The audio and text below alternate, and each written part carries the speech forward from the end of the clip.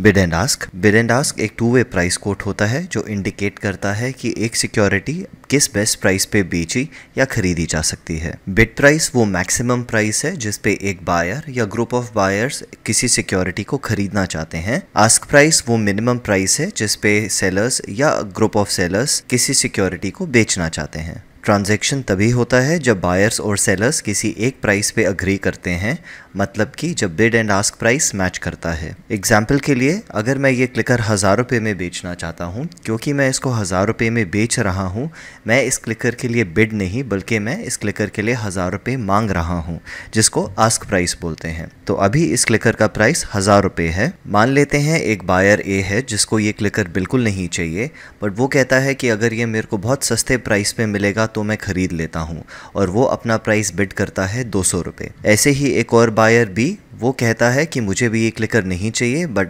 अगर कोई इसको सौ रुपये पे बेचेगा तो मैं ख़रीद लूँगा। सी कहता है कि मुझे भी ये क्लिकर बिल्कुल नहीं चाहिए बट अगर कोई इसको पचास रुपये पे बेचेगा तो मैं ये क्लिकर ख़रीद लूँगा। क्योंकि ये बायर्स ख़रीदने के लिए अपना प्राइस बता रहे हैं, वो बिड लिस्ट में होंगे। और जो सबसे महँगा ख़रीदना चाहता है, वो लिस्ट में ऊपर होगा। जो सस्ता ख़रीदना चाहता है, वो लिस्ट में नीचे रहेगा। एक और बायर डी आता है बट उसको इस क्लिकर की ज़रूरत है, क्योंकि उसकी प्रेजेंटेशन एक वीक में होनी है। क्योंकि उसको उस प्रेजेंटेशन के लिए ये क्लिकर चाहिए।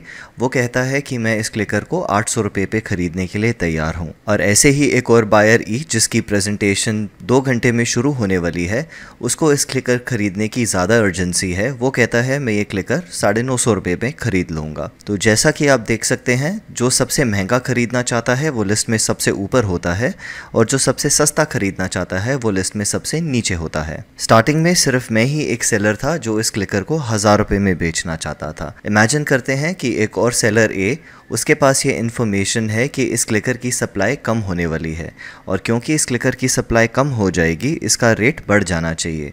तो वो अपना क्लिकर ग्यारह सौ रुपये में बेचना चाहता है।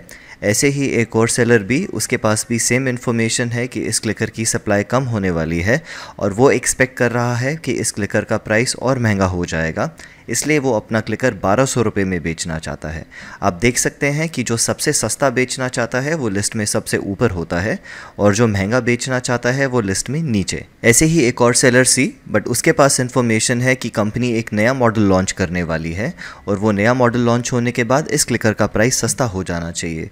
इसलिए वो अपना क्लिकर नौ सौ में बेचना चाहता है। और सेलर डी उसके पास भी सेम इन्फॉर्मेशन है और वो भी एक्सपेक्ट कर रहा है कि नया मॉडल लॉन्च होने के बाद इस क्लिकर का प्राइस सस्ता हो जाएगा। वो अपना क्लिकर नौ सौ पे बेचना चाहता है। जब सिर्फ़ मैं सेलर था हज़ार रुपये पे और ए बायर था दो सौ रुपये में, उस टाइम बायर और सेलर के बीच का डिफरेंस आठ सौ रुपये का था और इस डिफरेंस को हम स्प्रेड बोलते हैं। बट जैसे जैसे इस मार्केट में और पार्टिसिपेंट्स आने शुरू हो गए, अब अगर आप बिड और आस का डिफरेंस देखेंगे तो वो सिर्फ़ दस रुपये है। जो टेबल आप अभी देख रहे हैं, इस टेबल को स्टॉक मार्केट में मार्केट डेप्थ बोलते हैं। जो मार्केट डेप्थ होती है, आपको टॉप फाइव बिड्स और टॉप फाइव आस्क बताती है। जैसे कि इस एग्ज़ाम्पल में आप देख सकते हैं, जो टॉप बिडर है, वो three hundred seventy four rupees eighty पैसा पे खरीदना चाहता है और जो टॉप सेलर है, वो three hundred and seventy four rupees ninety पैसा पे बेचना चाहता है।